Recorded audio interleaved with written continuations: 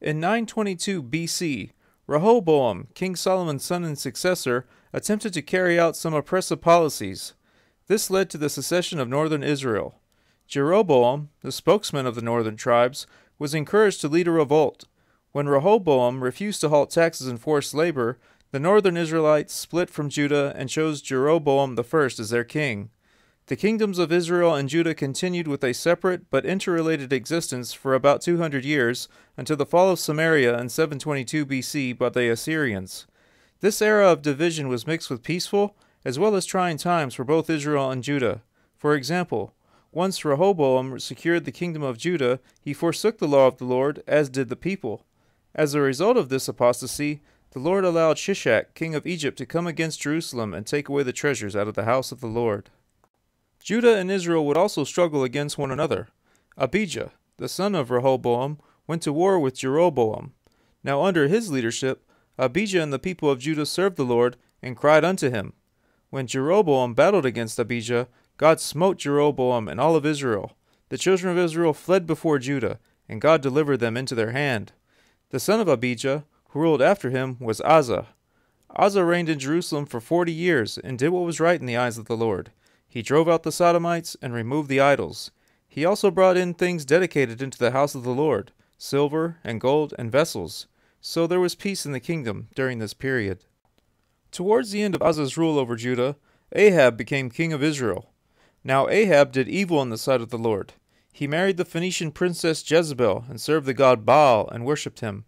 Jezebel slew many of the prophets of the Lord, but the prophet Elijah was protected, as were other prophets.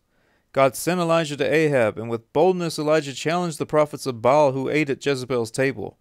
Elijah made the 450 prophets of Baal place a slaughtered bull on their altar of sacrifice, and Elijah would place a slaughtered bull on the altar of the Lord. Elijah proclaimed to the servants of Baal, Call on the name of your God, and I will call on the name of the Lord. And the God that answers by fire, let him be God. The prophets of Baal called on their God from morning till noon, but there was no answer. Elijah began to mock them, and they started to cut themselves with knives till blood gushed from their wounds. They continued to cry until evening, but there was no answer from the gods they worshipped. Then came Elijah and poured four barrels of water upon the altar of the Lord. He did this three times and called upon the God of Israel.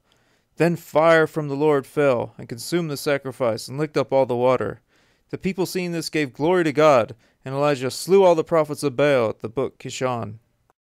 Time went on, and again the northern kingdom fell into idolatry. During the reign of Jeroboam II, in the mid 8th century BC, the people also became materialistic and oppressed the poor. To bring Israel out of this debauchery, God sent Amos to prophesy. Amos rebuked the king and his pagan priests for their idolatry. He preached to the people to turn away from idol worship and to worship the one and living God. Unfortunately, the king, priests, and people would not hearken to the prophet's teachings.